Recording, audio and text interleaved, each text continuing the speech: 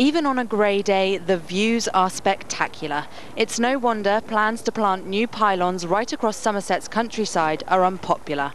Because this is a fantastic area. The Mendip Hills an area of outstanding natural beauty. We want to try and preserve that beauty, the tranquility, and not have these monster pylons dominating our countryside. National Grid wants to install a 400,000 volt power line between Hinkley Point and Avonmouth. If the plans go ahead, 152 foot pylons will be erected. That's double the height of the one behind me, and they'll be placed along a 37 mile route throughout Somerset and North Somerset. MP for Wells, Tessa Munt, has been campaigning against the pylons for almost three years. She says there are alternatives.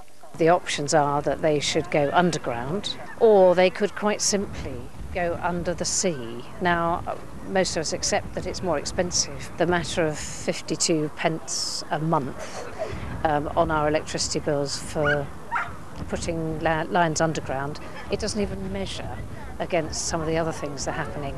Members of National Grid had been invited on today's walk but were not able to attend. Campaigners say it shows they're not interested in what local people want. They've had months to find just one solitary employee um, to come here. And uh, frankly, I think it's disgraceful because local people care so much about this. They have absolutely no understanding. But the team behind the project say they are keen to discuss key issues with the community. In a statement, they said, We want to hear about the places that matter to people, as local knowledge is vital and will add important details to the information we have already gathered. People living along the proposed pylon route now have until the 23rd of next month to give their views. Alexandra Lodge on the Mendip Hills for the West Country tonight.